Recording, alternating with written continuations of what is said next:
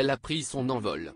Est tout naturellement après le décès de l'une des stylistes les plus aimées de son temps, Vivienne Westwood, que l'ex-mannequin a pris la parole. Adriana Carambeu ne s'était pas exprimée depuis l'annonce sa rupture, le 27 décembre dernier, avec son mari Andrea Ramo-Agnon. En ce 29 décembre 2022, elle a pris la peine de, de mettre en ligne, un message hommage à la couturière britannique, puis elle a dévoilé quelques photos de sa journée en stories. Visiblement en vacances, elle a adressé un message d'amour à Nina, sa fille, « Je t'aime tellement » a-t-elle écrit en anglais. On peut voir dans ces vidéos, la jeune Nina, 5 ans, occupée à jouer dans le sable, sur une plage visiblement éloignée de la capitale, et du Maroc de son ex-mari. La présentatrice de France 2 a visiblement choisi de s'envoler vers une destination exotique avec sa tendre Nina pour digérer cette séparation qu'elle vient tout juste de rendre publique.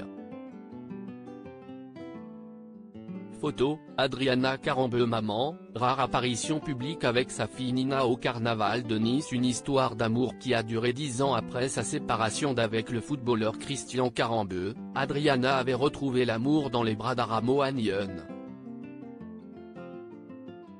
Mariés en 2013, les Tourtereaux sont devenus parents de la petite Nina en 2018, mais le 27 décembre dernier, coup de théâtre.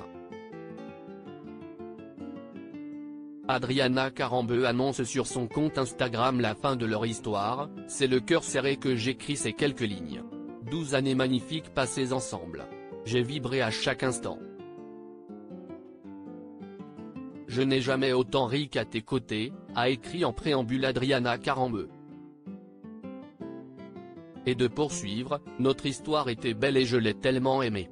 Pourtant, aujourd'hui, nous avons décidé ensemble de prendre des routes séparées. L'amour ne s'éteindra jamais. Tu m'as offert le plus beau des trésors. Notre Nina. Tu es et tu resteras toujours. Heureusement, la mannequin et Aramo Agnon semblent rester en bons termes. Crédit photo, Christophe Clovis.